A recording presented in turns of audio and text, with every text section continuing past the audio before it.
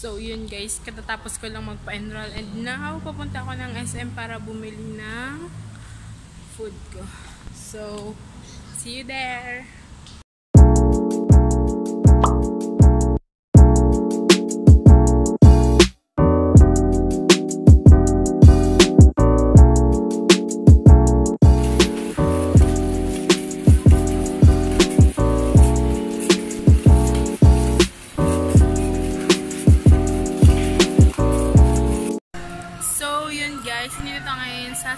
Supermarket and bibilhin ko na yung karaniwang ay, yung ginagamit ko palang oil which is coconut oil.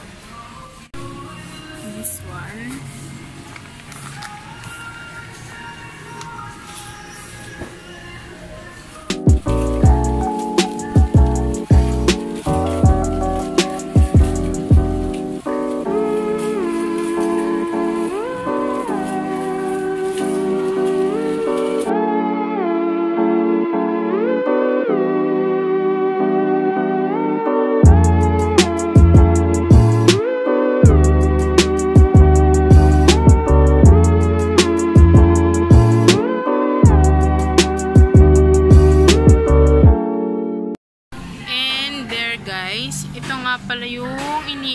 Ko, Bright and Light.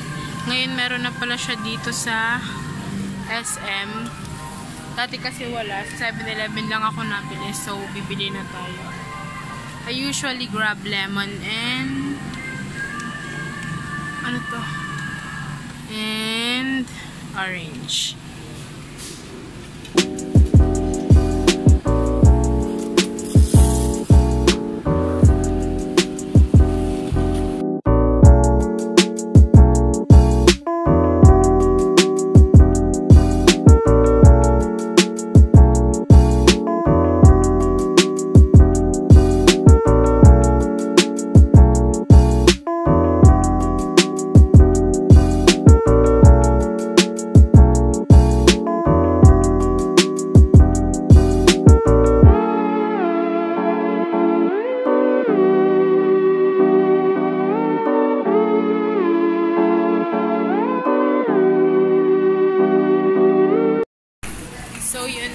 Usually kasi chicken lang yung, chicken breast lang yung binibili ko dito. Yung boneless na para madali siyang iprito.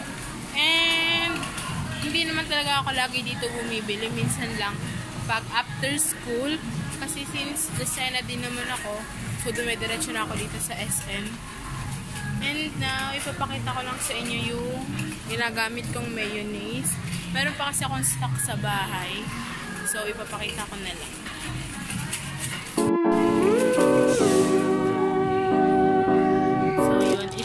Ginagamit kong Q-Pie. Nakikita niyo, nakita niyo ito dun sa vlog ni Alex. Pero, may dalawa tong flavor eh. Ang alam ko, Japanese flavor at saka yung yung original lang. I haven't tried this one, pero sabi nila, mas masarap daw to dito. And, pero mas nasarapan ako dun sa isa eh. So, madami pala siya. Akala ko isa lang flavor. Akala ko pala dalawa lang. So, roasted sesame and Cesar.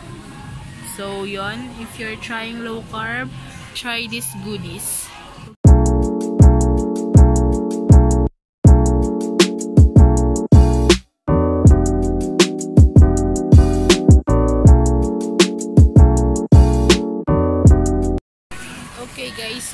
Pupunta tayo dun sa mga nuts.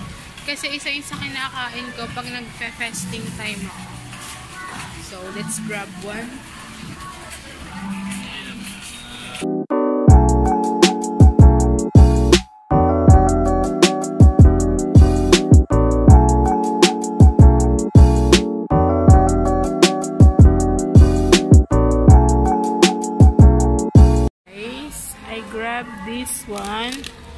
Yan. Si Papa kasi sabi niya sa akin, mas masarap daw to kaysa sa Happy. And mas mahal siya guys. Minsan lang akong bumili niyan pag may budget kasi you know, estudyante pa naman tayo. Wala pa tayong pera. So, tiis-tiis lang sa ganan. And before, akala ko mura lang to. Guys. Oh, may 15 lang siya dito. Bakit sa 7-Eleven, 75 to? Bitch. Okay. So, yun guys. Isa din pala to sa mga binibili ko. Chunks and vegetable oil. So, kuha lang tayo ng dalawa. Mahal niya kasi. Nawawala yung water. Brine. So, ito na lang guys. So, yun guys. Pipili na tayo kasi gabi na at pinapauwi na ako ng nanay ko. So, see you later.